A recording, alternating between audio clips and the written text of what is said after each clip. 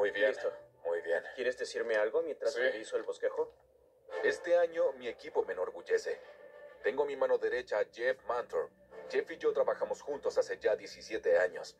Él me salva de situaciones complejas y evita que haga tonterías. Katherine es una navaja suiza si hablamos de decorar pasteles.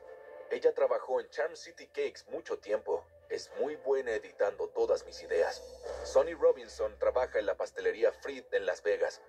Sonny hace pasteles increíbles rápidamente. Natalie Sider es muy buena tomando una idea para transformarla en tres dimensiones. Es una de las mejores artistas